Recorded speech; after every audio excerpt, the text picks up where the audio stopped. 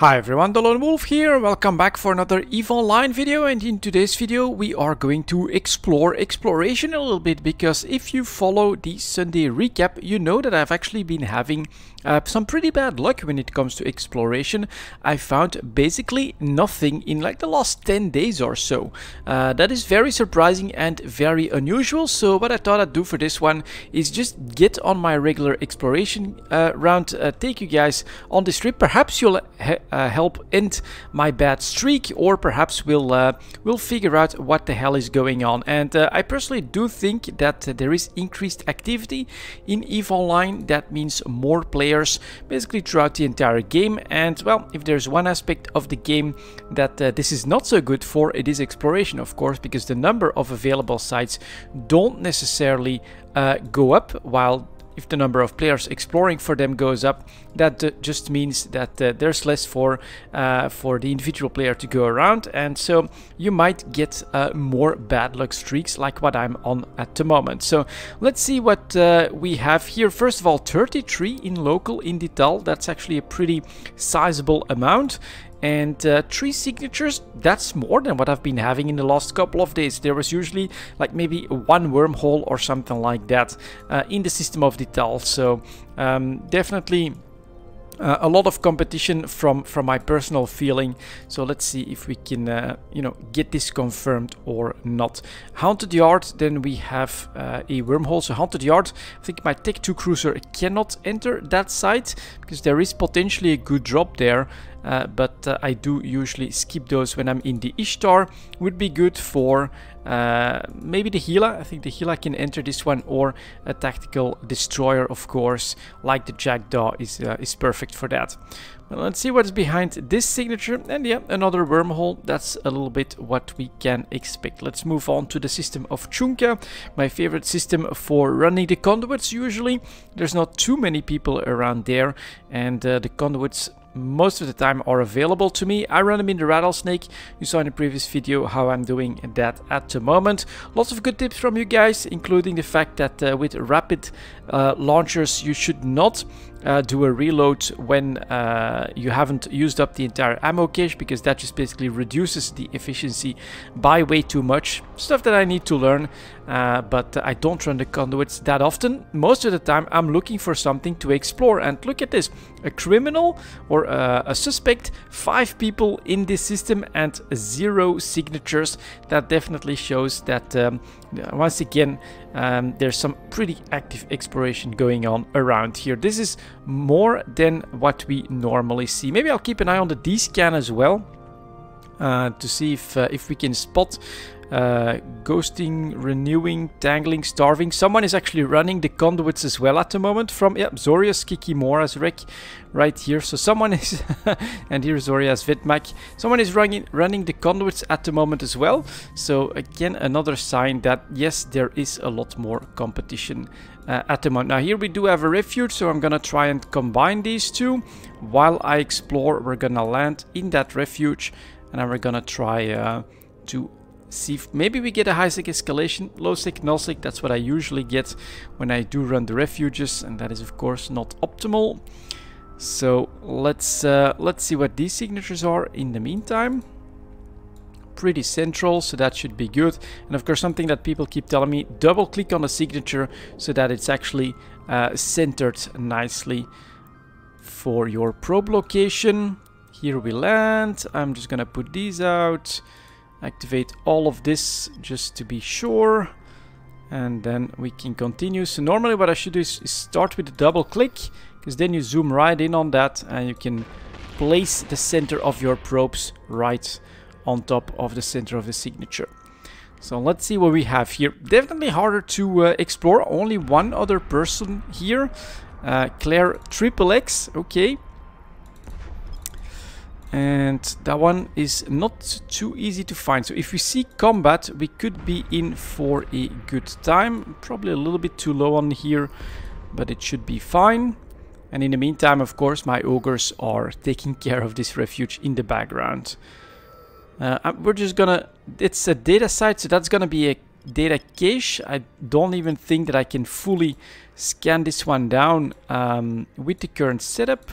So we're gonna move on to the SJY uh, signature. Another data site I would run it. Ooh, and that's also very difficult. That's That feels like it's even harder to find. That's not so... That's weird. Maybe the reason why there's no one here. Because you've got some, uh, some super hard signatures to try and discover. And this one moves about quite a lot. So let's let's use the double click trick. Move that one up a bit. That's okay. In the meantime, in the background, some enemy destroyers taken down. And this is a relic site. Yeah, another one that's pretty difficult to scan down. Um, so we're gonna leave it at that. This means that we can see if we get either an escalation or a true Sansha in this refuge. Actually a surprising amount of, uh, of loot from this one. Maybe I should have used the tractor unit. But I don't think it's gonna be worth it to keep scanning uh, to salvage here either. So we're not gonna waste too much time. Oh, let's also use my laser beams on that one. That's the butcher and yep, another no true sand shadow. Another wave. Look at that, they're almost through my shields as well. This is actually a pretty big refuge. So let's uh, get rid of these guys actively. I love how the ogres can just really fire at, at, actually a pretty great distance. And they can just wreck these guys like it's nothing. And then just one small enslaver. Damn, if that had been a true Sansha, maybe my luck would have turned around. But doesn't look like it. So that is the refuge done as well. And uh, these don't really look like good sites to me. So we're moving on to the system of Dira. All aboard. Next system. Um, still only one other person here, but yeah, nothing too great to report, unfortunately. And that's the exploration game, of course. Uh, anything else pretty much in the game, uh, more people either doesn't matter or is great for it. Mining usually doesn't matter. You'll always find something to mine uh, close to where you live. Uh, missions, of course, doesn't matter at all. The agents are a one-on-one -on -one operation with yourself. And for PvP, well, I think the more people, the better uh, your chances are to, to find some PvP actions. So they actually can't wait for more people to play the game. But when it comes to uh, exploration, it's a different ball game all of that competition means that uh, sites do tend to dry up pretty quickly. Here again, only one signature, 11 in local, and that without an active ice belt. This is usually the number that I see uh, in the system of Dira when there is an ice belt. And so you can get maybe like half a dozen uh, people extra that are actually actively mining the ice. But now, yeah, we've got these numbers without an ice belt on. Uh, so I'm suspecting that uh, they'll be, well, I don't think I can see it, but they're even going after the uh, after the sleepers. Uh, so that's kind of kind of interesting. Anything that's available seems to be run at this point. And we do get a combat site that doesn't seem too easy to scan down.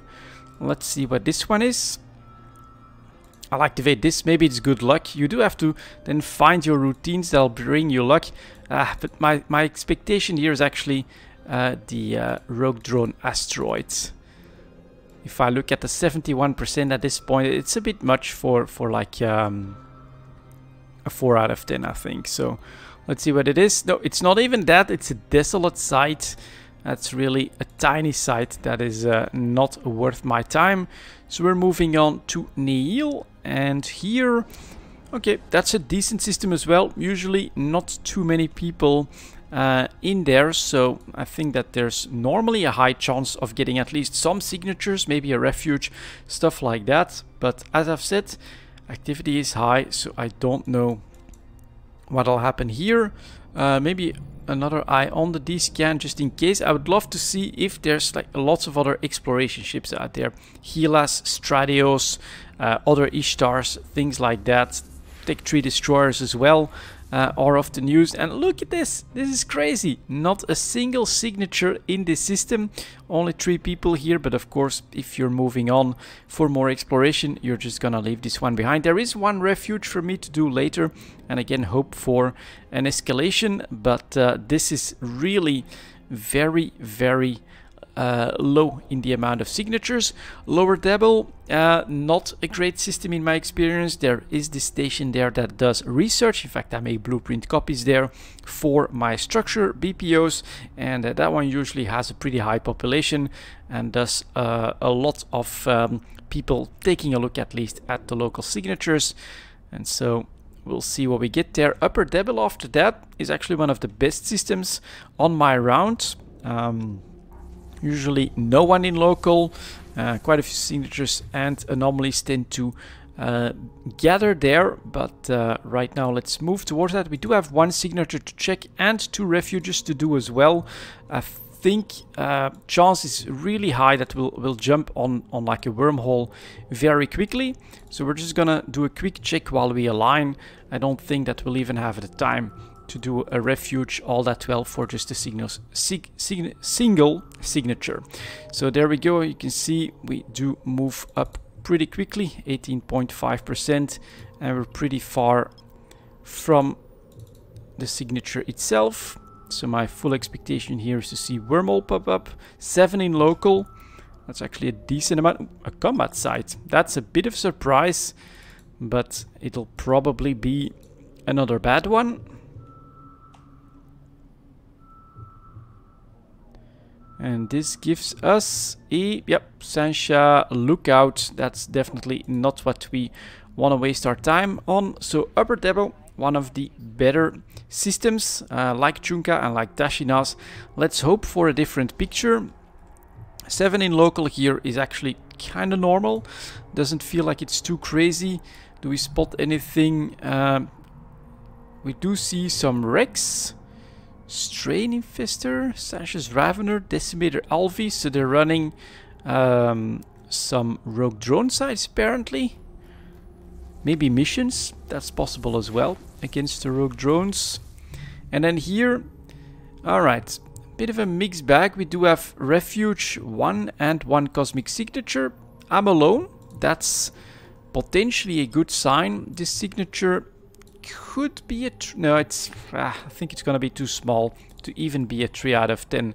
Very disappointing again. And here, one signature, one refuge.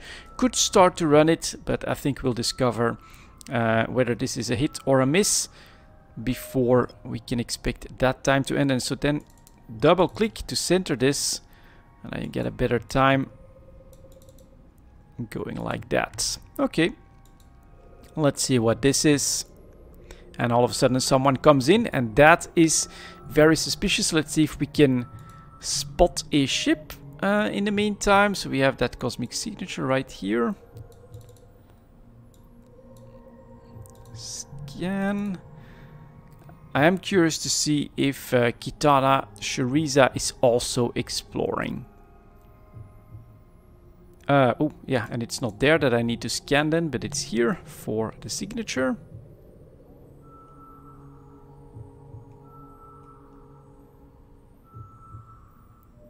That's just a wormhole. So we can close this. We can head over here. Yep, got my probes. And we get one small wreck here. Oh, and she's already gone. Ah, couldn't see what it was. Uh, but basically, with some decent uh, scanning skills, you come here, drop your probe, it's a wormhole, move on to your next system fully expect that to be another person that is exploring against me. Not good news, of course. Uh, the next system here, Lydia, uh, tends to be like a 50-50 again. Not too many people in there normally, up to five. Let's take a look at, there's two signatures, two refuges. That's a bit of a surprise. So here I am going to move straight into that refuge while we drop our probes. And these two look decently large, so potentially that could be of interest. Let's see what we discover here. So this is a better amount of signatures and anomalies that at least you can say maybe we get a chance. Uh, is that other potential explorer there? I don't see it. Okay. Down here. What are you? We're at a warp. We can drop our ogres. Uh, zoom out a bit for the sound. And that's just a wormhole. That's too bad. And then this one also actually already at 21% without trying to scan it. That is uh, not exactly what we want to see. So it's just another wormhole. Alright, then we'll just quickly do this refuge. Let's see if we can um, get lucky here. The distance is okay to try and take those guys down with the lasers, I think.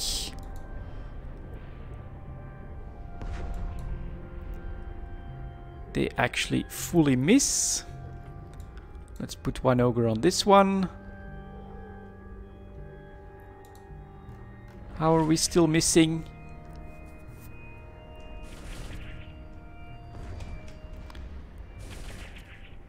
There we go.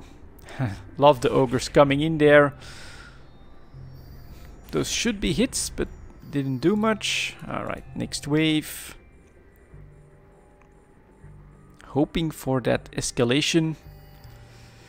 That one is down. That's a hit. Zap. Couple more. Definitely a lot less than in the previous uh, refuge.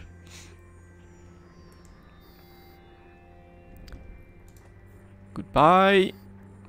Destroyer should be hittable. Good job, guys. That's the ogres.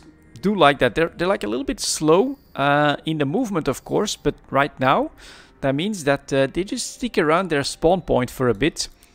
And uh, in between actions, they normally slowly start moving to me and then spool up their uh, microwarp drives. But it takes a little bit of time for these ogres. You see here, now they're active. So they just stick around around that uh, spawn point. They've got pretty good optimals. And as a result, they just keep whacking any new uh, Sansha spawns. I do like to run them this way.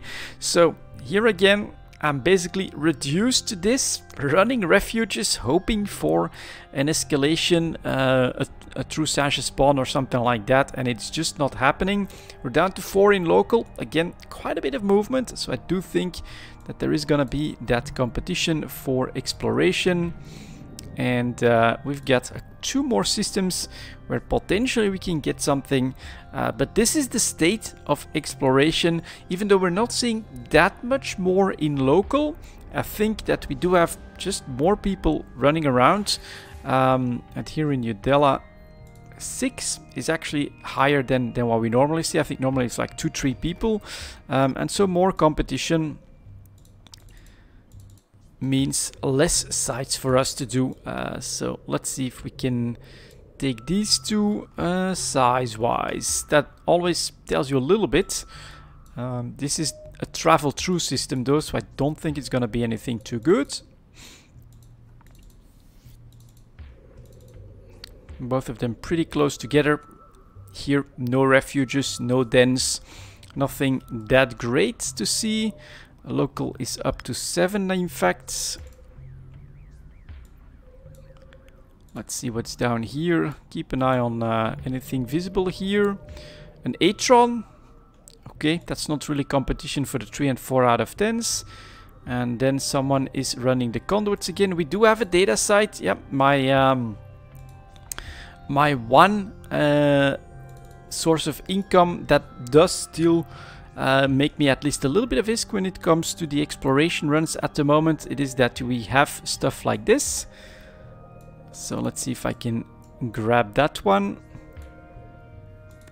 Local Sansha Shattered, what is it? Uh, database, life support system, okay. Can I... Hmm. We got it at least, so let's do that. Close. This is actually fine, I think. So let's move up. But uh, oh, and it's it's already done. Yep. Talk about competition. By the time I scan it, and want to warp towards that data site. Um, it's actually taken by someone else. Another very clear sign that uh, competition is pretty high. Oh, oh no, no, damn, my mistake. I thought it would be red.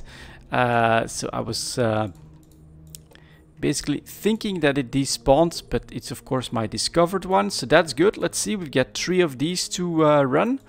Let's hope that potentially we get something in there. This is also the reason why I changed this uh, this fit and put in a micro warp drive, because of course you do want at least somewhat of a boost to speed when it comes to uh, going to these nodes or these info shards. Within five, I can get started on this. And let's see what we can find. I'll quickly use that one. Another one, one, one. Where is that's not very good? There it is. Okay. That's the first one done. And loot wise, 1 million just for that. Not so bad. Uh, clear line of sight, that's all fine. Here I think 30 kilometers we can do two um, rounds of the micro drive. So let's get going. One and then the second one will boost up to 1400 meters a second. Then we get within 10. We do drop off pretty quickly, but we'll be fine. And then normally we're also slow enough that we won't bounce off of the shard too far for the loot. So here it is. Got it. And an empty one. It happens. And then the final one down here. 14 kilometers. So that's the one boost. Now let's see if we get something here. We're in five. Try to cross as quickly as possible on these easy ones. That tends to be the pattern. So here it is. Grab that loot. Alright, a filament and another decryptor. So that means we get to move on to SSAMA, the final system, which is again too busy. And look at that, local goes up to 10 here. That is definitely a lot. Uh, two praxis, so people are running the conduits. Another one down here. So someone is uh, running a small praxis fleet for the conduits. We've got a patrol, we've got a venture, but that's not uh, H2 Refinery Venture. So that's an NPC. Quick rescan, nothing here. Okay, and then 4. So lots of traveling happening here too. And then in SSAMA we get 7. We get 3 signatures. But I wouldn't be surprised if that is gonna be bad again as well. Let's see. We definitely have a tiny one up here that's not gonna be interesting. The other two are again, not large enough. I don't see any good combat sites. Uh, circumference should be like probably 50% bigger than that if you want one of the harder to scan combat sites. So let's first confirm the tiny combat site here. Now use the double click trick like that. And then uh, we'll double click on you.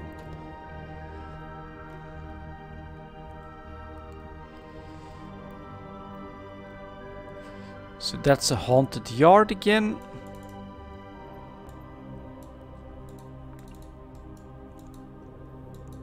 And what is this? Sansha still don't like me. In the meantime, I do sell stuff from time to time, of course, with all the industry that I'm doing. And let's analyze this side. That's the first wormhole. Second one, probably same thing. Here we get a Corax. I think you can explore in that as well if you want to. And that's a relic site. So that's, again, nothing. Let's take a quick look in detail. Perhaps something spawned. But yeah, with 30 plus people there in local when we left it.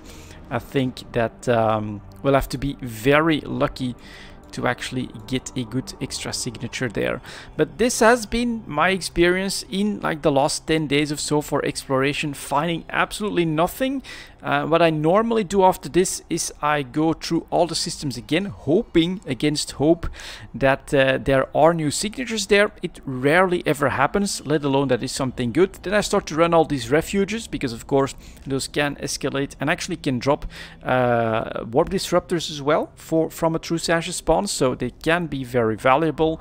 Um, but uh, if after that second round we still have absolutely nothing good and you can see nothing moved here in detail or if it did it's already cleaned up uh, then of course I feel kind of forced. Oh, and we actually want to go to the Astrahus uh, to move to move on to other activities and uh, at the moment for me that is the conduit running. So um, still 27 people right here in detail that is quite a lot. I was expecting to see more competition on the gates right? More Gila stuff like that uh, to come in. That's not really been the case but I do get the feeling that this is the situation unfortunately.